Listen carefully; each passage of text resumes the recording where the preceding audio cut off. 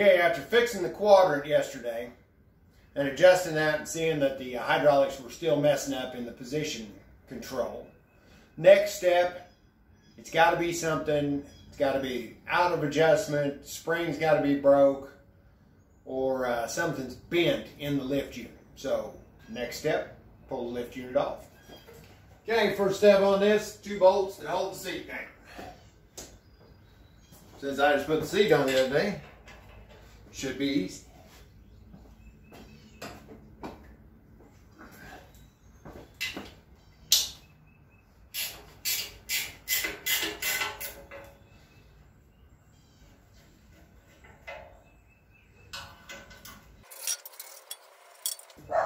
All right, next we need to disconnect the lift arms. We'll pop the pins out there and then the pin for the draft. One and two. Those came out surprisingly easy.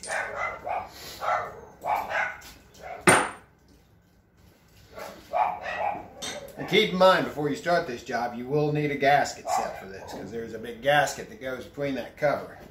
And that will definitely need to be replaced.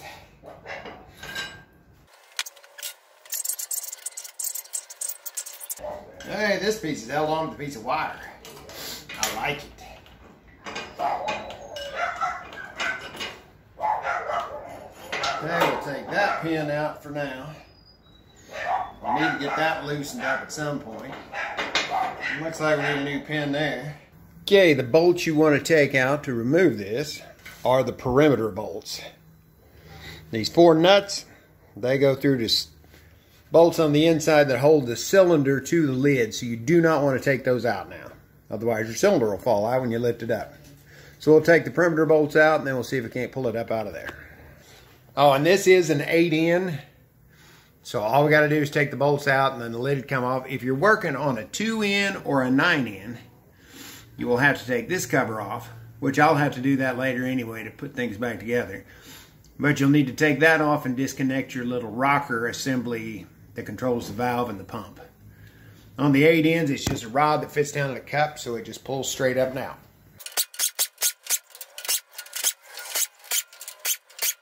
Okay, keep track of the length of your bolts. These two here are a different length than the rest. These four are a different length, and this one is you got a different length. Then all the short ones are the same. Let's see. Good place to pry on it a little bit. Pop it loose. There we go.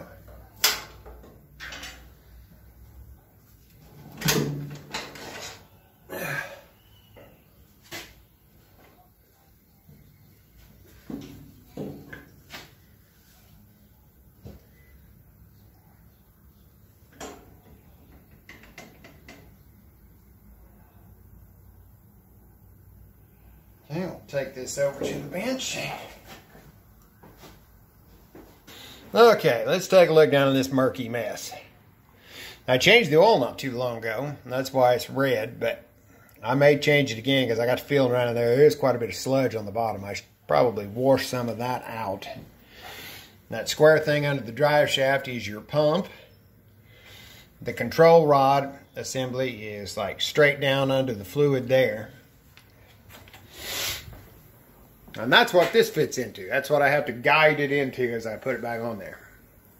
So all of this other stuff, your drive control spring, your position control spring here, your quadrant, all of that moves that little rod back and forth to adjust the flow of the hydraulic fluid up through that hole into that cylinder. So we need to, I'll get this mounted up figure it out we'll start taking some measurements and see if those springs are in the right spot. They're supposed to have a certain amount of um, length to them in the different positions. So we're going to check that out. Houston, I think we found the problem. Got this hoisted up and put it in the vise, and we got a little angle to the dangle there that we're not supposed to. From everything I've seen, that rod is supposed to be straight. And that would make sense because as you lower your quadrant. To lower the arms, this raises up. And since that's bent down, it's not raising up as far as it should. So we need to pull that arm out and very gently straighten that baby out. Okay, it looks like to take this out, right there, I took a cotter pin and nut and a washer off. And that releases the quadrant from the arm. So I'm going to unbolt the quadrant out here and see if we can take that off. Not sure if that was exactly how that was supposed to come apart. But I took those four nuts off, took the piston and cylinder out, and that let me work this piece off of that stud there. And then once that was out of the way, you could slide the control rod on. So now, it's time to go see if I can straighten this without breaking it. Ouch! That hurt. Okay. My methodology, oh, that hurt bad. I hit my knee. My methodology for straightening this was putting it in the press. And I pressed it with uh, the wood block and then I finished it up on the steel. And is it 100% straight? Nah. Is it way the heck better than it was? You betcha. Because all I got to do is get it close enough that I have enough travel to set it with the quadrant adjustment. So we're going to put this back on, do some other checks on the spring links, and then we should be good to start cleaning it up and putting it back together. Well, now, doesn't that look better? Not all dangly like a drip. Well, you know what I mean. I got everything all put back in there. And if I was one of the cool kids and had a jig, I'd adjust everything with a jig. But I do not have a jig, which I may have in the future. So we're going to adjust everything by the book, which I checked everything before I took it apart, before I realized that that was supposed to be straight and everything was proper. But we'll go back through it again. The draft spring supposed to be able to move it around but not have any free play. That's good. So right now, we put the lever in draft position, which is down. And we're going to measure the length of the draft control spring. It's supposed to be 3 and 9 16 inches. So let me get the calipers and we'll check that. Draft spring length is right on the money. So now we'll start working with the position control. Then we got to flip the lever up to position, which is the up position. Then we've got to adjust the touch control to where there's three quarters of an inch of a gap between the arm and the end of the slot. So that's set.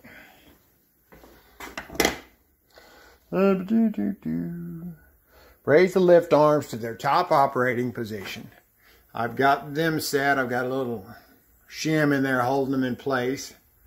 There's some uh, factory alignment marks. So that's set.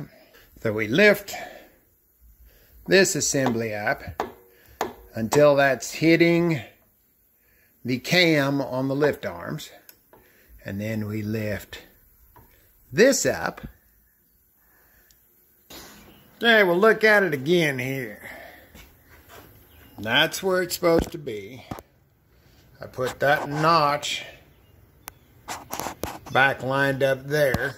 That would have been the factory position. Got that where it's supposed to be. So as I raise this up, this back here should hit that cam at the same time the swivel hits the bottom of that. And it does. And it did before. Now when I loosen this up and move that, that threw all that out of whack. Is do it just like the factory manual says. We'll put this in the hole and then once we get it bolted down, we will lower the quadrant And that thing should have that right up against the housing inside the tractor as that quadrant is at the end. If not, then we can adjust it here. Now that the rod is straight, we should have enough adjustment to do whatever we need to do to make it right. And this all springs, everything measures out good. So I'm going to start cleaning stuff up and put it back together. One more thing before I put it together. I am changing the rings. I've got the old style piston. I know you can get the one with the O-ring with the leather backer, but I've still got the old style, and the rings are cheap, like $15 for a set of rings. So I'm putting new rings on it before I put it back together. The old ones are worn. You stick them down in the bore, you got about 35 thousandths gap. You put the new ones down in there and measure that, you've got about 18. So that should help it hold pressure a little better. So we'll just slip them on the piston, slip the piston back in the cylinder, and away we go. Got the gasket surface all cleaned up on that. Piston rings are in. We're ready to put the new, or put the cylinder back on. It's got long and short bolts. Long ones go toward the back. Short ones go toward the front. Pretty easy to figure out. So I'll slap that on there, get that bolted down. Now we got to clean all that mess up without getting any in the oil. Okay, that surface is cleaned up. Now this working on cast iron is nice. I'm used to it working on aluminum and you just you look at it and you end up gouging it and trying to get the gasket off. You can get pretty aggressive with this stuff and not hurt it. Same deal with the cover. But if you're wondering how I got such a nice finish on that, and I know you are, Scotch-Brite pad on a grinder. Works wonderful. They've got different grades of the, the pad and it will take off the gasket material like crazy and not damage the surface. You can use the fine one even on aluminum as long as you use a light touch. But on this cast iron, just went to town, man. Just blew that stuff off there. Now, I need to remove that cover because I have to be able to get in there and guide that control rod down into the pump because that's probably how it got bent to start with. Somebody's had this oh, off and jammed it down in there. Very critical that that's in there properly. And then while we have the cover off, we can adjust the quadrant. Since I am a bit of a handy guy, and I'm working by myself, and that thing is heavy, and I don't want to bend my rod, I built a little hangy thing to put it under the hoist. So now I can lower it down in there and get that rod in the hole where it's supposed to be without bending it. Hopefully. Now we'll set the gasket down on here.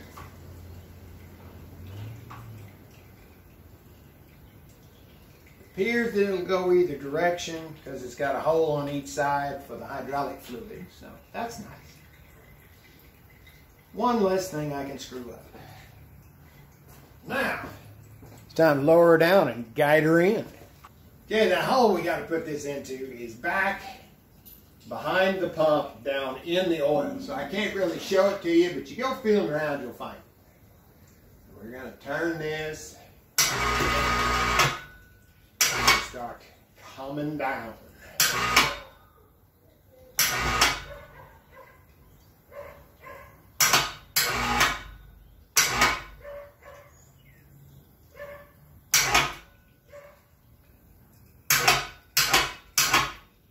I'm deep. Tell you, deep. Sure. Now, no wonder these things are bent. She's in the deal. And I was that deep in the sauce. I want to have nice soft skin tonight. May smell like oil, but that's okay. Okay, I won't bore you with the rest of putting the bolts in. As soon as I get the bolts in, get everything torqued down, then we will adjust the quadrant by feeling down in there. Now it's time to find out if I did this right. With the lever in the draft position, I got to reach down in there where I guided that rod into the little socket. Now what should happen is I raise the quadrant. When it gets to the top, that rocker should be up against the pump house. If not, I need to adjust it here. So I'm going in deep again. Ouch. Okay. Rod is still in the hole.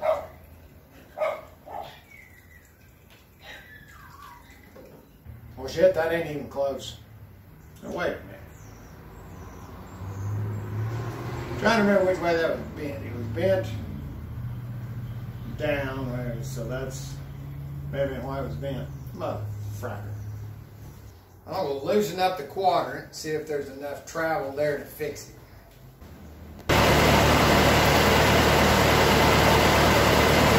Check.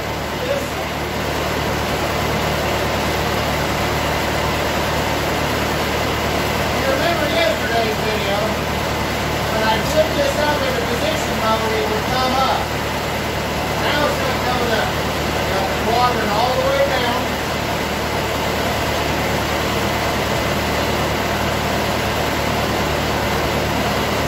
Looky, looky, looky.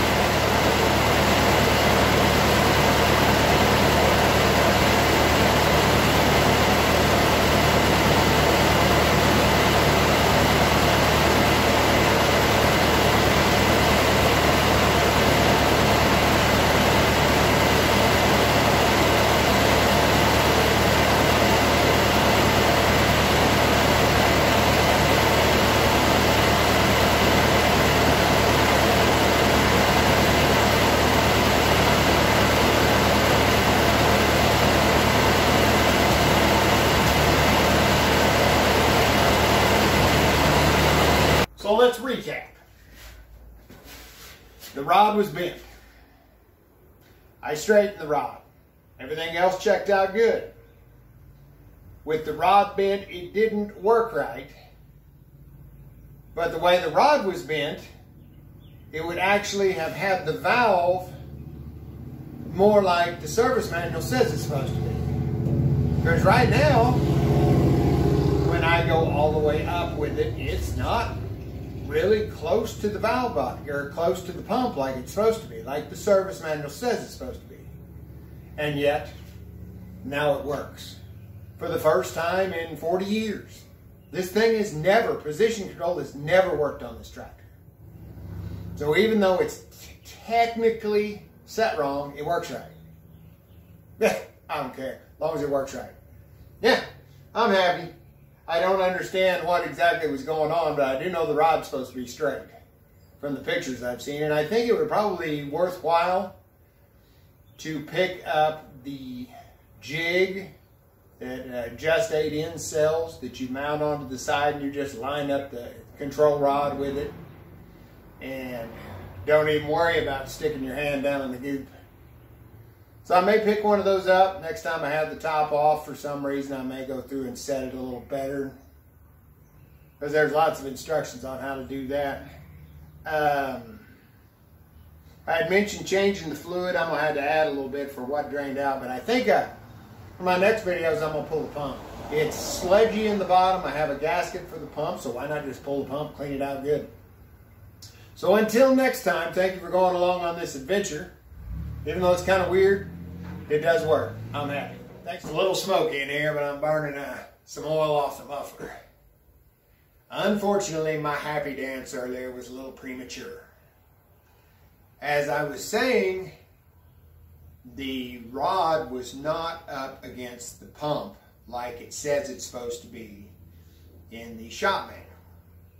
But since the position control was working great, I, for the first time ever, I just lost my mind and thought, oh, I've got it. I don't care if it's not set exactly right. Well, the problem was that I drove it out of the garage and I thought, well, crap, I better check the draft controller. Pull the lever all the way to the top and nothing. So I adjusted the quadrant, moving it back and forth, nothing.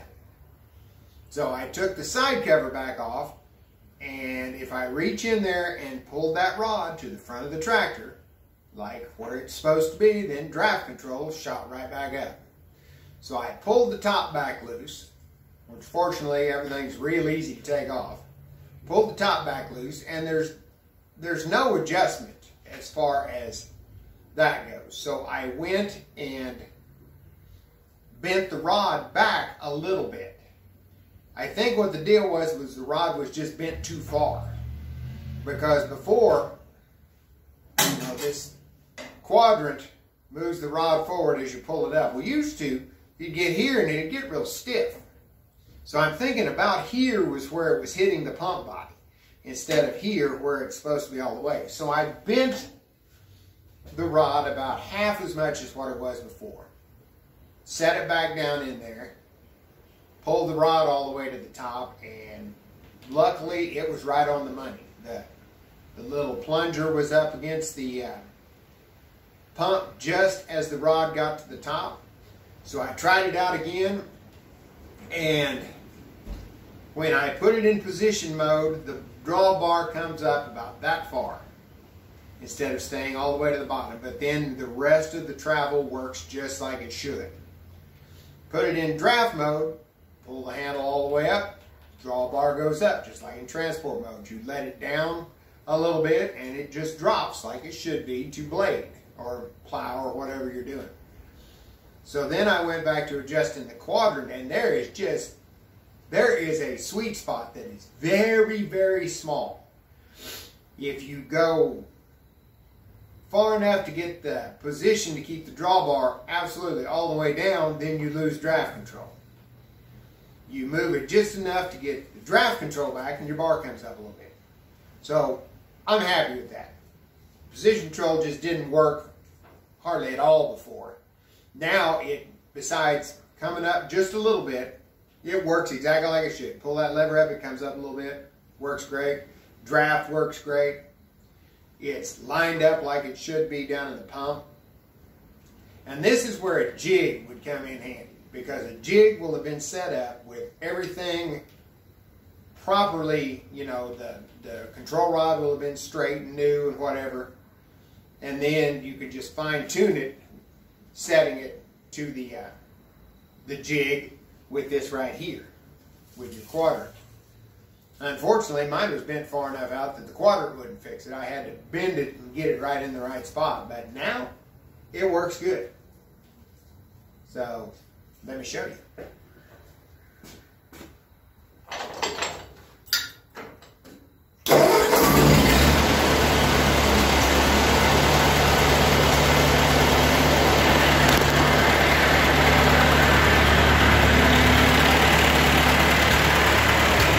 Okay, in draft mode.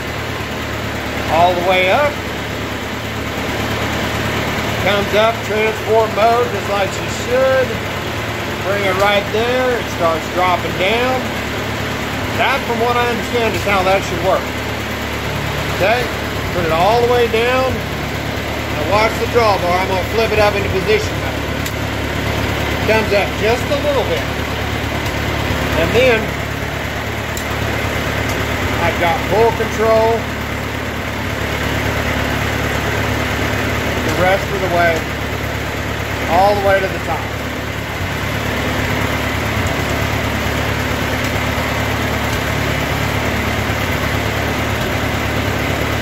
And as far as I'm concerned, that's good enough for me. So I'm gonna put the cover back on, put the seat back on, and call it a day. Thanks for watching.